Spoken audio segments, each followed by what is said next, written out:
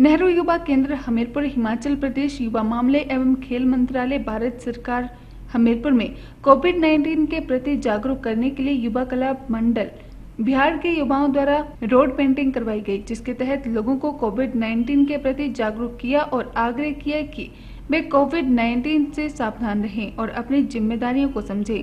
उन्होंने चित्रकला के माध्यम से कोरोना योद्धाओं जैसे कि डॉक्टर्स नर्सेज पुलिसकर्मी स्वास्थ्यकर्मी इत्यादि लोग जो इस कोविड 19 की महामारी में अपना जीवन दांव पर लगाकर लोगों की सेवा कर रहे हैं, उनको नमन किया और लोगों से आग्रह किया कि उनका सम्मान करें और उनका मनोबल बढ़ाएँ।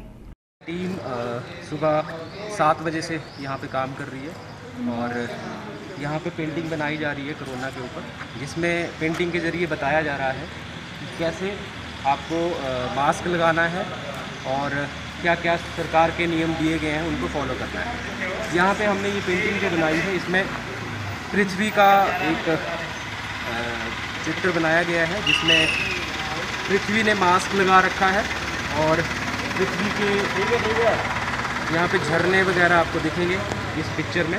साथ में हमने यहाँ पे एक वेलकम मैसेज दिया है और स्ट्रेंजर यहाँ पे स्लोगन लिखे गए हैं, जिससे जैसे कि बदल कर अपना व्यवहार करो कोरोना पे बार।